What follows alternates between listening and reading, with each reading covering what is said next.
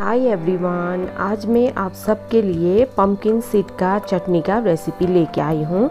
सबसे पहले गरम कढ़ाई में हमें पम्पकिन सीड को भुनना है। लाइट ब्राउन होने तक इसको भुनना है। पका हुआ कद्दू से बीज निकाल के उसको अच्छी तरह से धो के उसको दो तीन बार धूप में सुखा लीजिए और एक डब्बा में बंद करके रख के जब मन किया थोड़ा सा निकाल के चटनी बना के खा सकते हैं। यहाँ पे मैंने एक टमाटर को भुनने के लिए रख दिया। हमें पम्पकिन सीड को इतना ब्राउन करना है।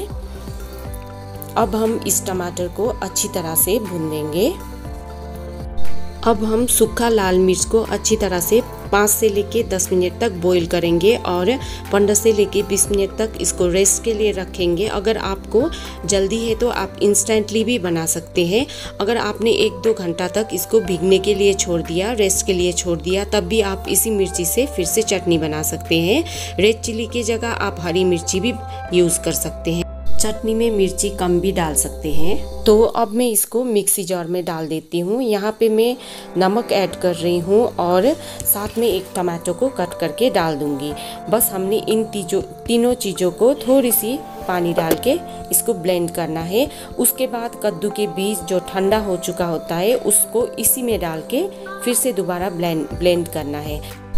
ये वाला पम्पकिन सीड का चटनी आप ज़रूर अपने घर में बना लीजिएगा, क्योंकि ये बहुत ही ज़्यादा टेस्टी होता है और जब हम पम्पकिन सीड को भूनते हैं, तब से ही इसका खुशबू आना बहुत अच्छे से स्टार्ट हो जाता है। अगर आप इस पर खट्टा डालना चाहते हैं तो आप आधी या एक नींबू को निचोड़ के भी डाल सकते हैं। आप इस चटनी को, राइस, चपाती, पूरी, पराठा किसी भी चीज़ के साथ सर्व कर सकते हैं।